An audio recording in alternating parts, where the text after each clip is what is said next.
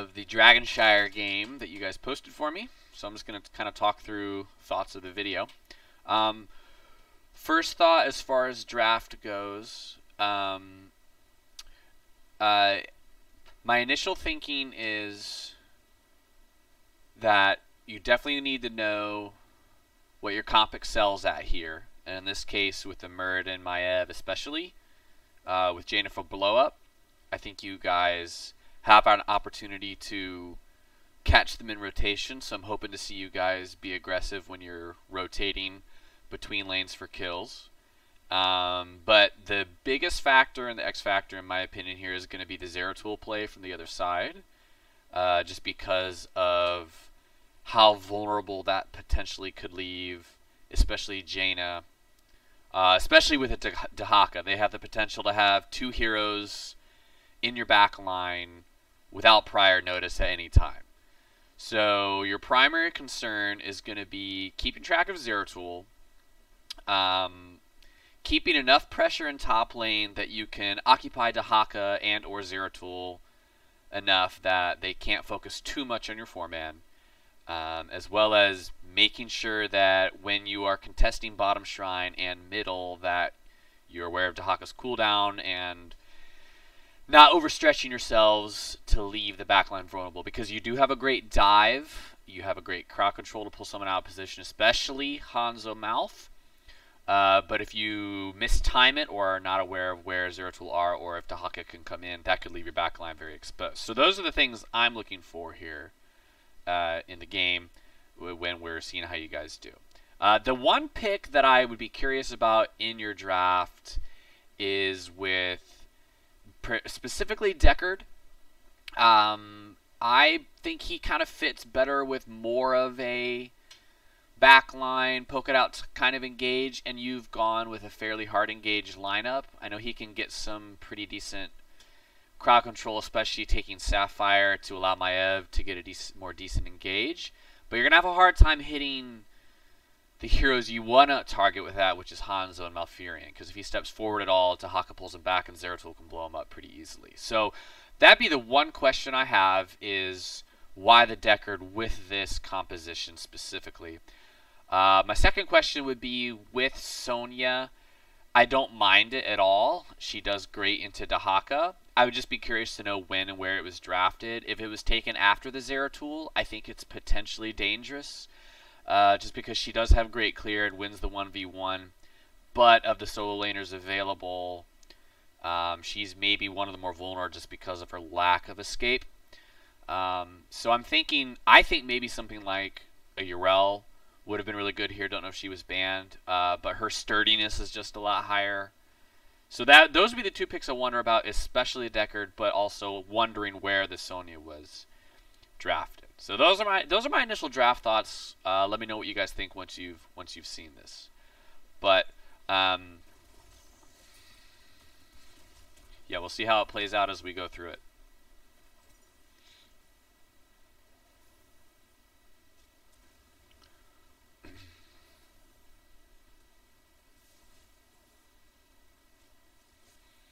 I think overall here, uh, I like the Maiev coming down. I think you guys maybe could have been a little more aggressive just because Zeratul takes a little bit while to scale up. So I maybe would have liked to see all five start mid, see if you can get a pull stun blow up on one of your targets. Uh, and then if that doesn't work, rotate out. So I think you maybe could have been a little more aggressive because between the comps, I think your immediate level one is better. So try to take advantage of that potentially a little bit more. But I do like the Maiev coming down here to soak.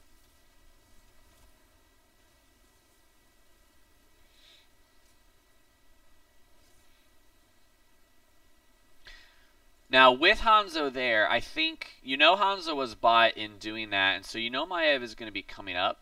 I think a potential better play than continuing to scrabble here would be to back off bait a little bit because they're past halfway Maiev's getting ready to rotate up. I would like to see being a little bit safer here, waiting for your cooldowns, and Akib letting you know he's coming. And I would look. I would like to see you guys try to catch them here, because watch where they rotate through. Once you guys are done brawling a little bit, they're going to rotate right through here, right where Maiev is. And so C-Dub, if you're healthier, you have a 4v3 engage here because uh, Hanzo's still clearing. So this would have been a great opportunity if you know that Akib has come down here. Even if Hanzo matches, you don't really have a reason to fight there. You're not going to kill anybody with that. You're just kind of trading cooldowns and burning mana. So try to save it for when you're going to be having Akib come up and have a more efficient brawl.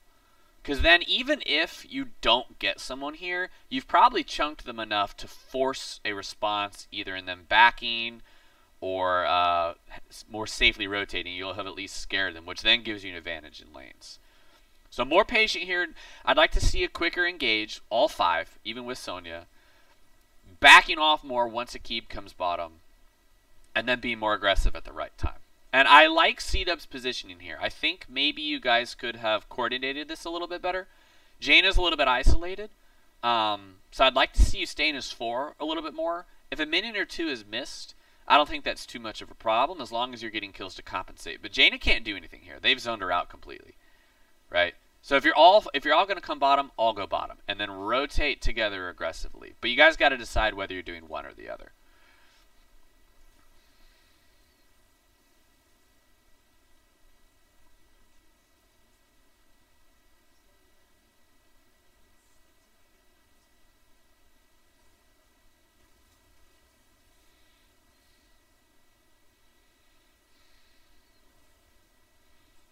I like camp getting started here.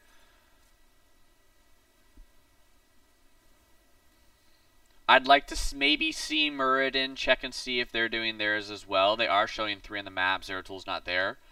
So a quick check might do you some good as long as you can remain safe.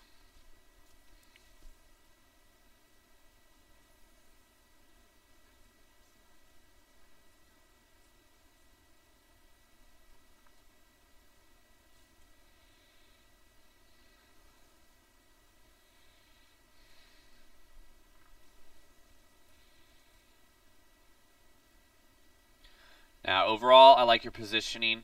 Jaina had a back for health and mana, so at this point, you're just looking to maintain control. You have all three lanes covered, so this is fine.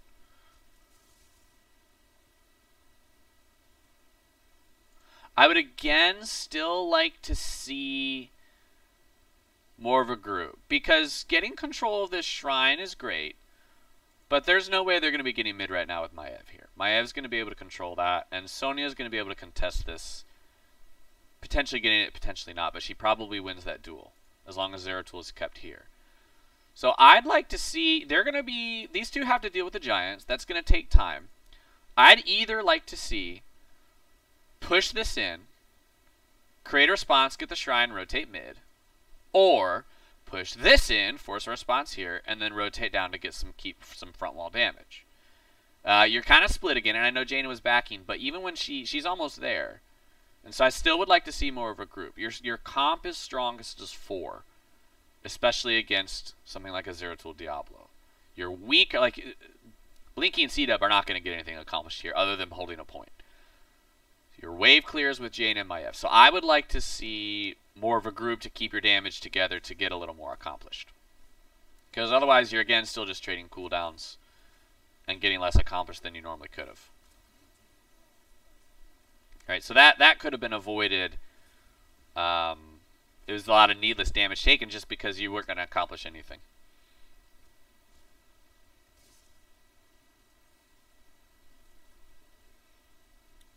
Which again essentially means your Giants didn't accomplish much. Like you're getting the advantage uh, mid by forcing rotation, but these Giants for them are getting a lot more value.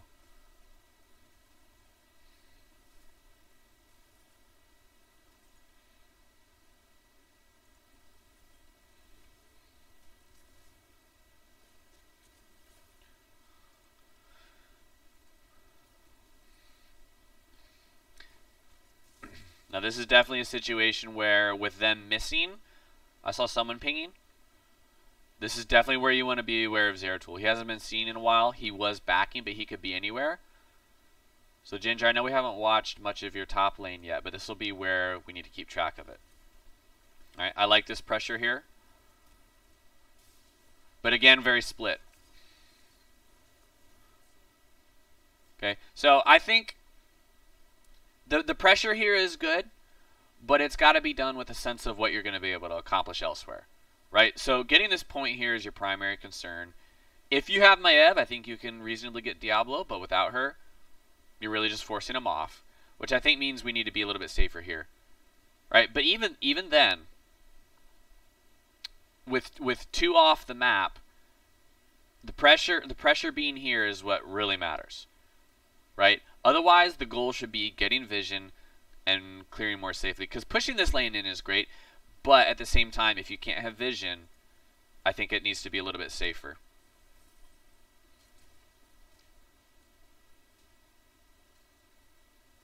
Now this is very aggressive. Zeratul showed mid, but Malf is already here, and you're at best a 3v3. Sonya has top.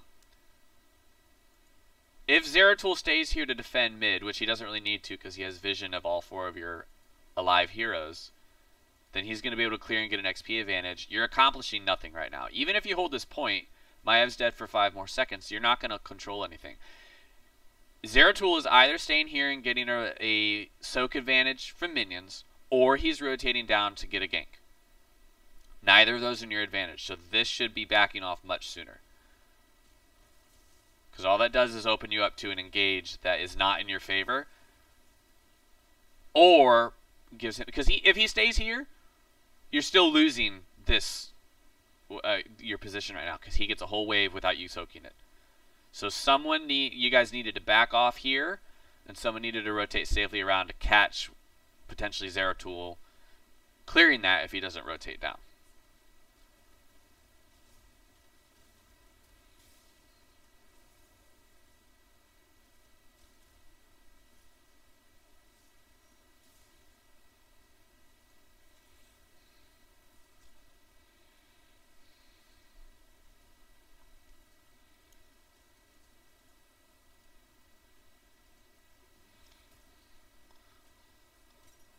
So I like this attempt on Zeratul. That's a good trade. Leaves a lot lower. Does expose your whole keep front wall a little bit, but since you lose somebody, that's, that's part of the deal.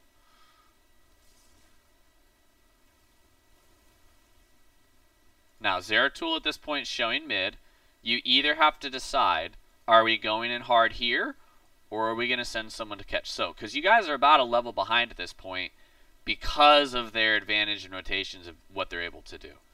Right? Zeratul is able to do this without really much punishment, and they have three kills. I think that's really what's pushing it forward. Okay? So, I think you guys have missed some waves, and with the kill disadvantage, Zeratul's gaining the advantage right now for their team.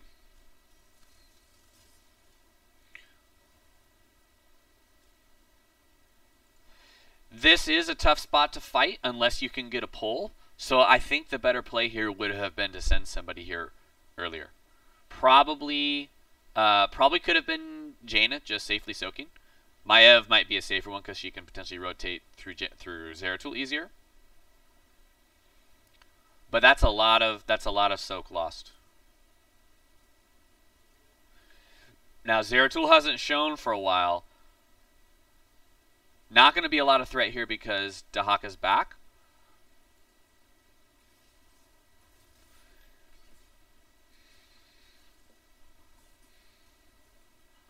But that's a good that's a good rotation from Dogwell, I think. You're probably going to be able to hold this just fine. I don't know if I like dying for this here. I think you actually could have backed off C-Dub.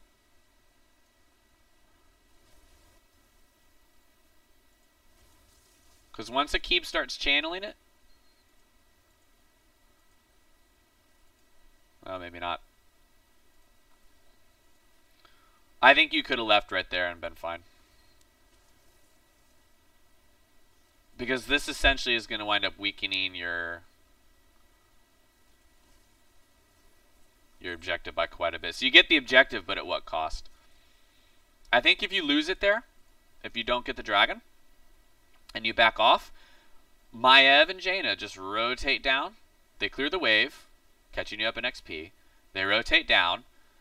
Muradin backs off and regains from his trait second wind. You guys then re-engage. You now have a 4v3. So getting the objective is great, but I don't think dying there was worth it. I think it's okay to back off as long as you communicate that to each other. Get my and Jaina to rotate down and force the 4v3. If they back off and don't you take it, well, then you get the shrine, and then you can potentially hold, you know, attempt to hold it that second time.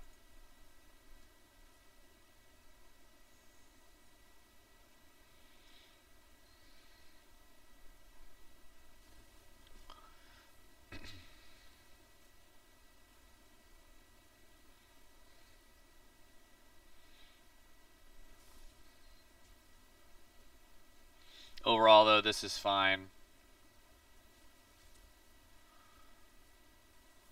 As many front walls as possible is going to be what you want here, especially having been down somebody.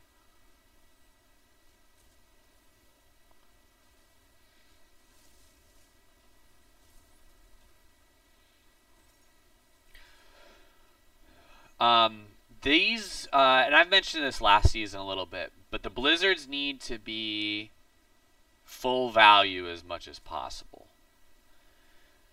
When if they're used without much follow-up or intent, it's going to I don't think this one hits anybody. But if that's dropped here, not only are you getting wall damage, but you're also getting hero damage. Something like Frostbolt, especially with your build, if you miss it, not a big deal. Cone of Cold, also not too big a deal. It's lower cooldown, lower mana cost. Blizzards, you gotta get full value from. Um, I think there was one or two other ones too that in this game needed to be more value. But this one in particular, you, are not going to get a kill by it landing more, but you are going to chunk Hanzo more and force him to play safer. So make sure that when you do your blizzards, you're you're using those with a purpose that's going to be tangibly apparent.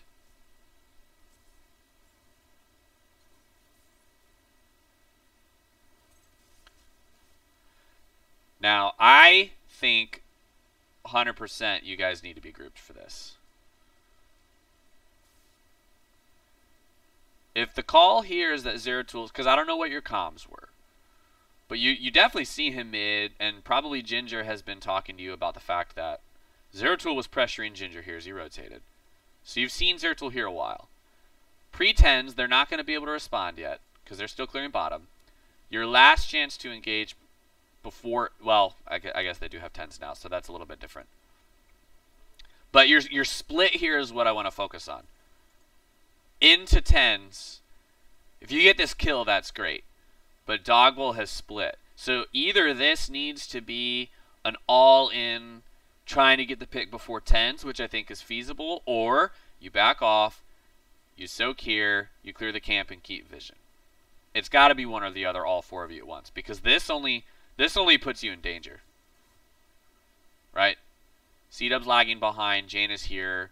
Two are isolated. They have 10s now with APOC VP.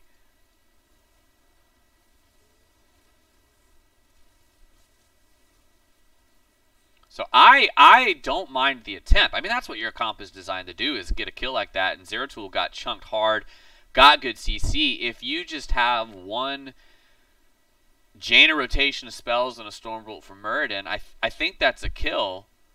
And I think you might be able to get out of there if, if everyone's there immediately. If he gets this far, he was able to get this far, I think he's safe. But if C-Dub's able to jump in there and stun, and you pull him back to this area, your retreat path is much easier. So just make sure you're clearly deciding what you want to do a little bit better and a little bit more succinctly with an idea of what the game situation is.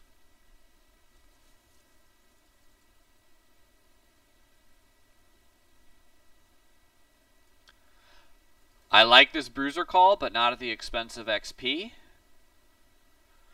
Especially with a Jaina, just clear this first and then rotate.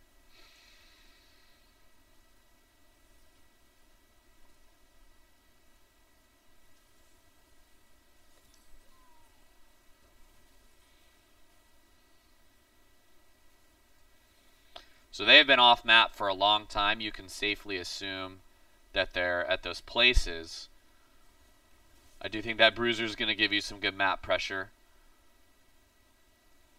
Giving you a chance to come down and defend. I think this should be a fight.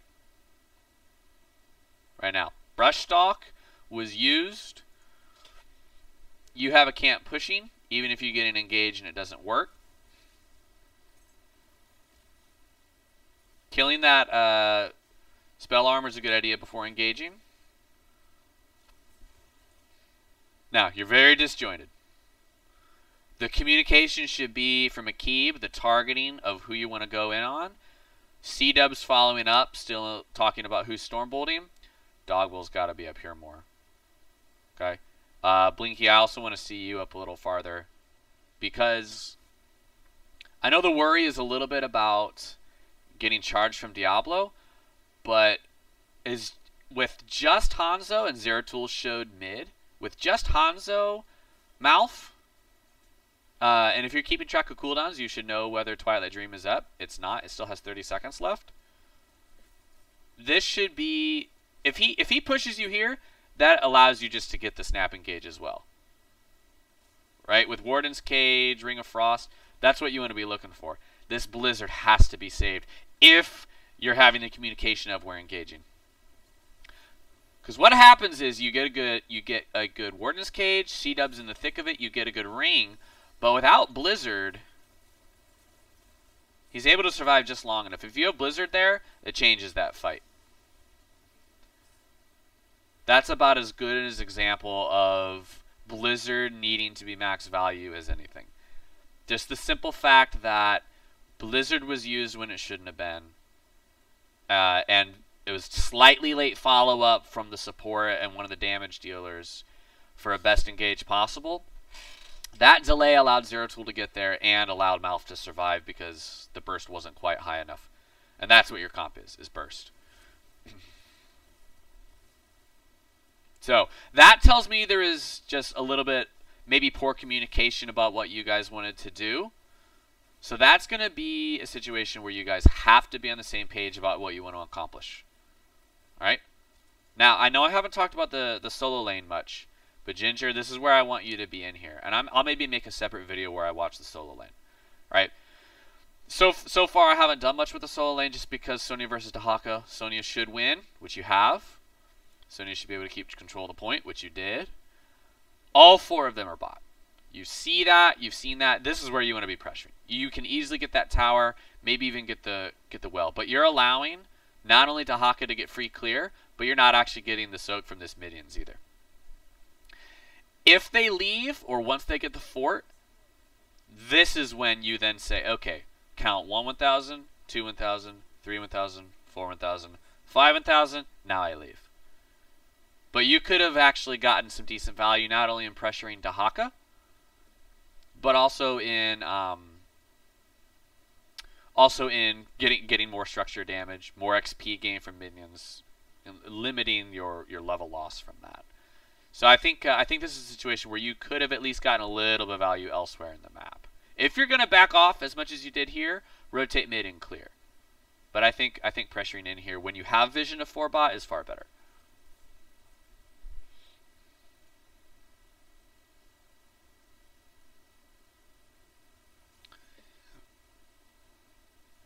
Now this is dangerous because uh, if they got the objective here and they already have bottom, they don't really need to stay here. They're going to be rotating up to either help Dehaka get this or if Dehaka wins to get the point. Right? Hanzo is showing now, and you haven't seen Zeratul in a while. This isn't worth, especially without the talent, with, with a talent disparity. Alright? Just stay back here, safely soak, and if you have to give the dragon, you have to give the dragon. Because you guys lost four members. I mean, that's going to be an objective win, right? But you're not going to accomplish anything here. Even if you win the 1v1 with Dehaka, the, the ability of them to rotate so easily is too high. So I definitely want to see you back here more. And even if you survive here, you're going to be low enough that you're not going to be able to help at all. So all this does is stagger kills without really getting you. The best possible scenario is very infa unfavorable. All right.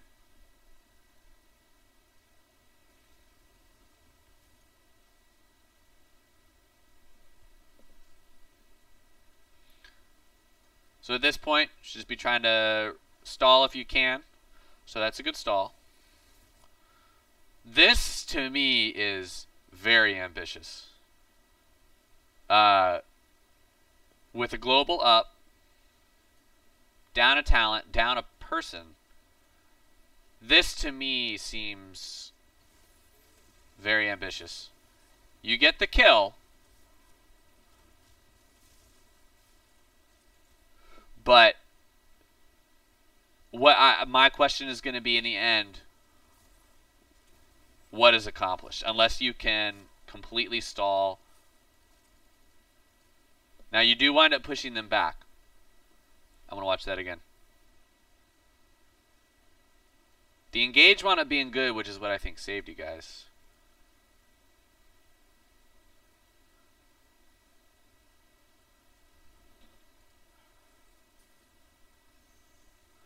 The good news here, at least, is that you guys were coordinated. Right? I guess with these two isolated, that actually is that actually winds up being better than I had initially thought.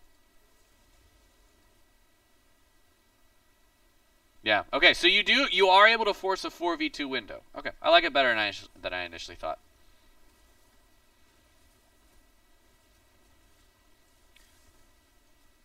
It's a very fine line. I, boy, I think they misplayed this a little pretty hard. Dehaka should have been there a lot sooner. If he is, I think that changes that fight. But congrats to you guys for recognizing a situation where you can force a 4v2 uh, before people are able to get there. So that's good. That's well done considering, I mean, you're up against at that point, right? Down on talent, you got to take what you can get. So I think that's actually a pretty good uh, a pretty good use of that. And you'll notice it was all four people doing it at once. And that's been different than when you guys were kind of split down here, when you guys have been split in this area. It was all four of you at once. So that part I'm really happy to see. That needs to happen more often and rather than it being in situations that are not favorable, in situations where that are favorable.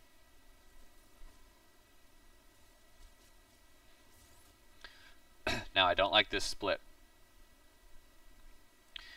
Mainly because the Zeratul factor. Um, I, th I think if Sonya is going to be leaving top, I think Maiev should stay here. Primarily because all you need is one shrine to be able to prevent them from getting it. You're I think it's moderately unlikely that you're going to be able to get control of all three lanes, especially with this lane pushed out.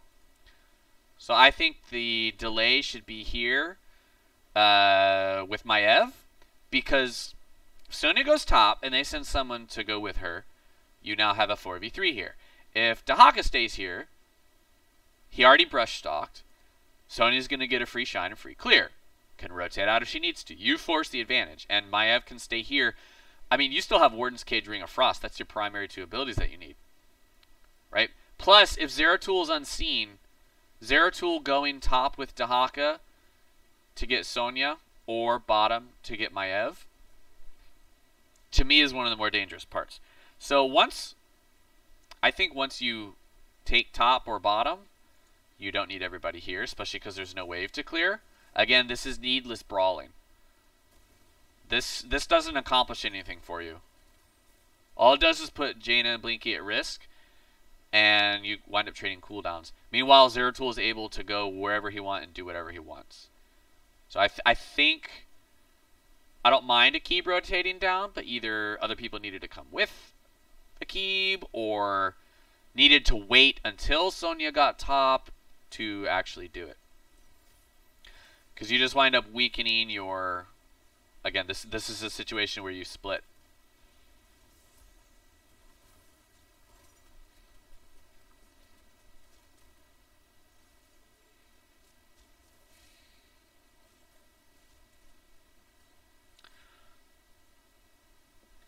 So 14, 13, they've used all their heroics. I think you need to get some map control back. So I'd like to see I'd like to see this get taken care of, and maybe get some Giants to get some pressure out to see if you can get bottom a little bit better. good. That's what you're doing. You don't have vision, so you do need to be careful. So I like the I like the anchoring here from C Dub. Once they show up, you leave. Good clear from Dog Bowl. Even if all you do is clear bottom, that's that winds up being good for your favor. Now, you're even talents. Maiev's coming in. Um, this is the Zeratul factor, and the this is when um, one of the things that I mentioned in that document I made is uh, calling out your opposites and things like that. Whichever whoever Zeratul is the opposite of, which I think will be Maev, this has got to be maybe communicated a little bit more. Maybe it was communicated and you just gonna, didn't really get a chance to leave. But uh, this is the Zeratul factor getting into play here of being able to essentially be a global without warning. Now, I'm glad you guys are. This is going to wind up being. I don't know what they were doing. Maybe they were expecting Dehaka to come in. But this is heavily in your favor.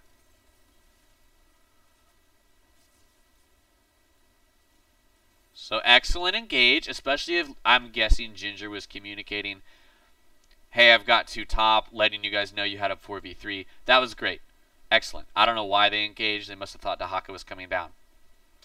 But now imagine how much stronger that engage would be if Sonya still, you know, is still here being safer. Because again, Sonya getting that top shrine is great, but the best thing that happens is you potentially delay it. The worst thing that happens is you die, uh, forcing your team to have a hard time. Now they get the DK, but with three kills, it's that's probably not going to accomplish a whole heck of a lot. So, kind of a mixed bag. I think you guys win that trade, but not as hard as you could have. I like the split, especially with Zeratul in the DK. You have a chance to see where he is at all times.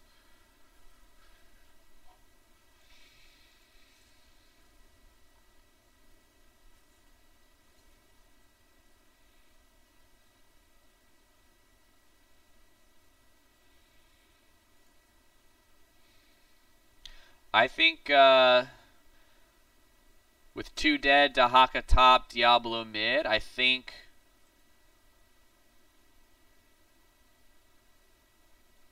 I think I think you guys probably could have cleared this to let it push out a little bit.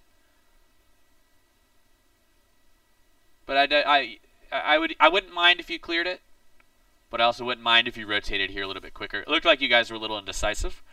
Pick one or the other. Neither one's a bad choice. Because if Diablo rotates down like he did now, he's not going to be a threat by himself, especially with Zeratul in the DK. So either clear and then rotate, or everybody rotate here and just let the Giants draw attention.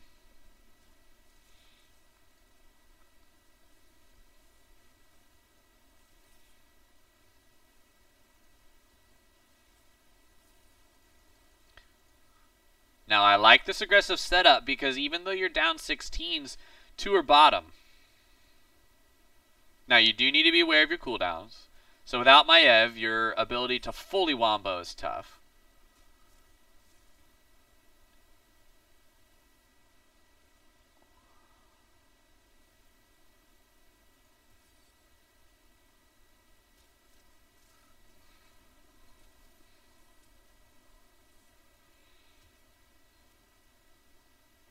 It was a good attempt. I think that was smart to do, especially as five. It didn't work. You can now back off. They gained essentially nothing with that Dragon Knight except for fort walls.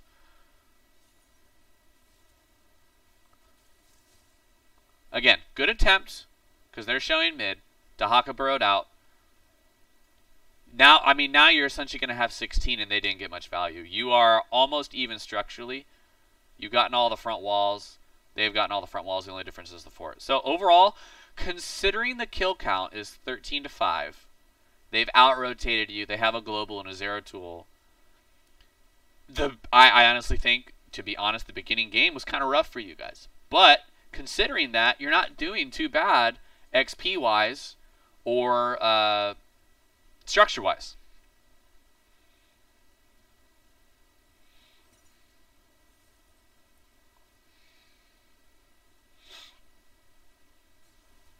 speed this up a little bit.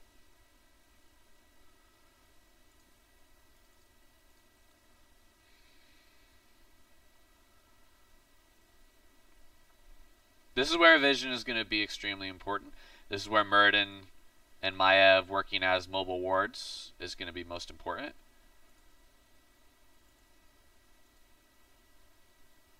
If they don't have vision, I think you uh, me see here.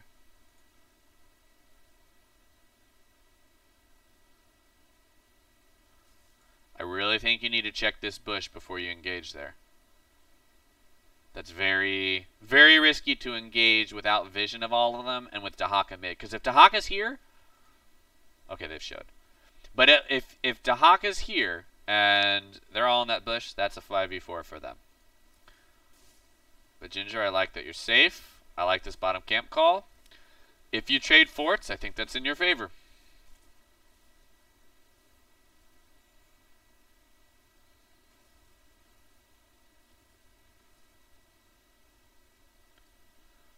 Now, loss of vision.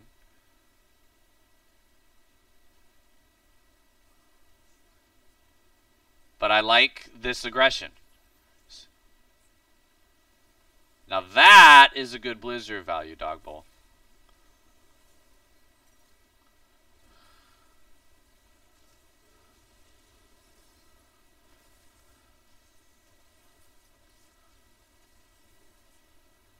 Traded one for one so far.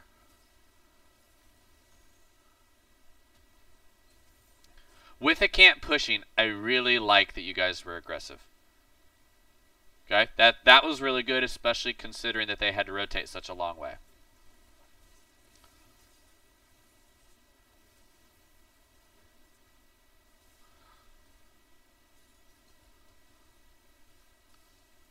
Keeb, look at you, man. Look at you. Jeez. Now, that went about as good as it could have, I think. That's the strength of staying is 5, especially late game. Very, very good. Now, the question is, a 4v2 trade, you don't have, you have some siege with Sonya into only a Diablo who can pull you over a wall, so that's risky. So what's your play? You don't have much of this camp left, and Maiev is low. Uh, I would like to see Sonya getting this after Muradin gets the point. Uh, I, I think rotating all the way top is not a bad thing with Muradin while Sonya gets this and Maiev backing and then coming to get DK. I think that's probably your strongest play because you're going to get more lane pressure bottom to prevent them from retaking bottom. Uh, Maiev's going to be able to be fully healed and head time that pretty well. And Sonya can head mid to either get a camp or pressure this out to make it harder for them to stall. And you have 20 you had 20 seconds to do all that. So how efficient can you be?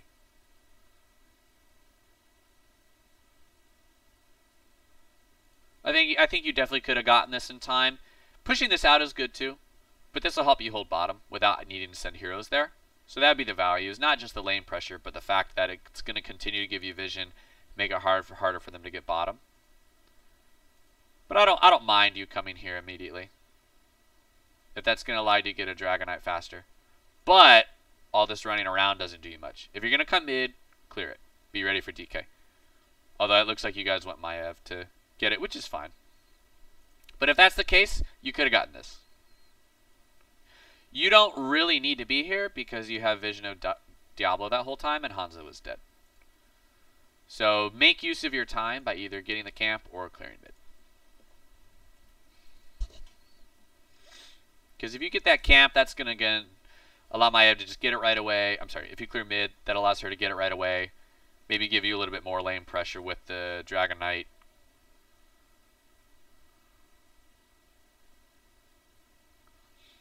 I like that you guys are coming as five for this. It's exactly what you want to do.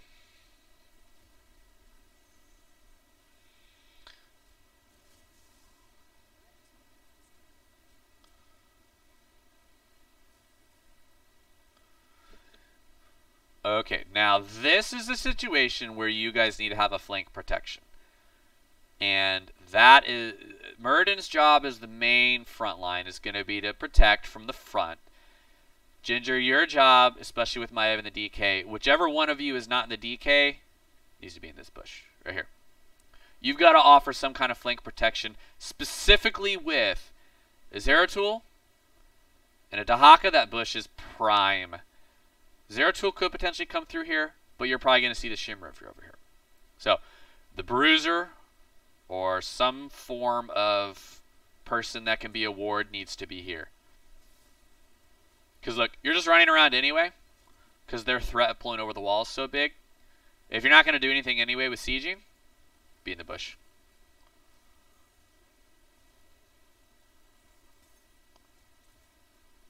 Because I don't know what I don't know what uh, random task is doing and what he's trying to accomplish other than blinking in, blinking out, and that's fine. He gets some value. But if they were good, they would have Zeratul here, Dehaka in one of these lanes pressuring out for 20. Once they get close, getting ready for a VP APOC combo with Twilight Dream, Dehaka burrowing it. Dragon Arrow. That's what they're going to be looking for. So you got to be able to have vision of that.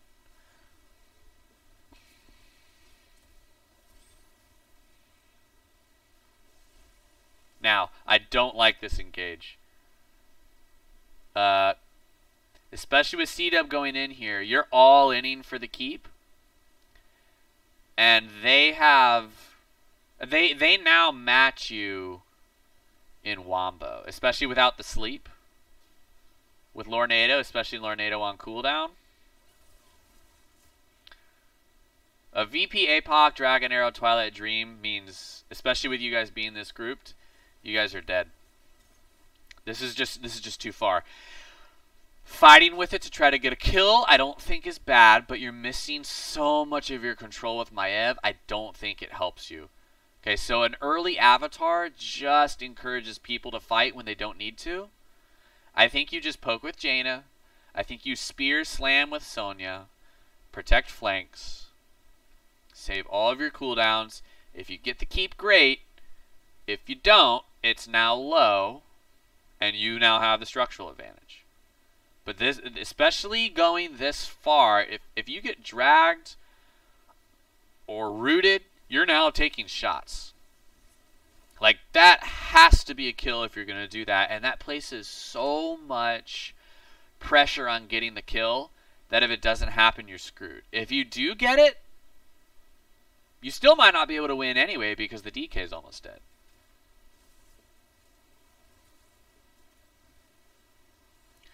But with Maiev and the Dragon, and uh, th this allowed them to get to the back line by A, you guys engaging at all, and B, going that far. So you do get the keep, but at what cost? This is going to wind up. Once everything's burnt. I think you guys still could have salvaged it. Jaina died earlier. Let me rewind it just a tad. At this point, you need to let Maiev die. Right here. C-Dub, Ginger, and Blinky, you need to keep running. You re-engage both of you. Just keep running. Let keep die. They'll have a 5v3 for 60 seconds. They may get a keep. They may match you with it. But if you all die here, the only thing that does is potentially open up your entire map to get decimated. If you have 5v3, you can still poke them down. You can still defend and deter them from doing anything. But a 5v0, staggered deaths, that I mean, to be honest, that should be game for them. And you'll notice Maiev still got out. Or nearly. Nearly got out. You guys followed her in here, and she was the one that actually survived the longest. If you guys all leave there, Maiev still might live. Probably not, but might. So you have potentially still four people remaining. Three at worst.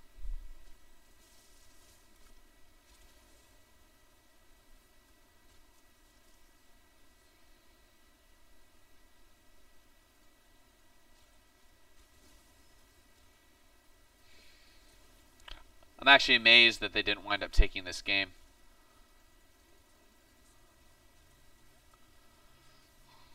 Honestly, Random Task should not have gotten that keep. That really didn't help him at all. I'm sorry, that, that camp. So they're very clumped. Good for you.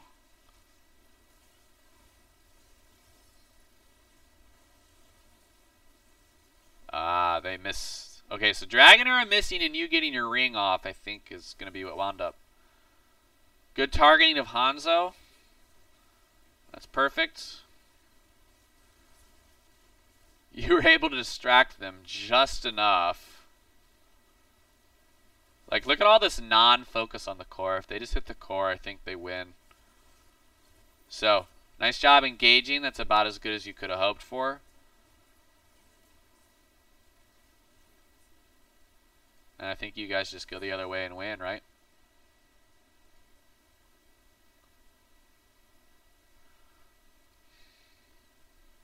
Yeah, I think DK is fine here. You're guaranteed to get it, and going without it just risks the possibility that they kill you. But I think you maybe could have just gone core.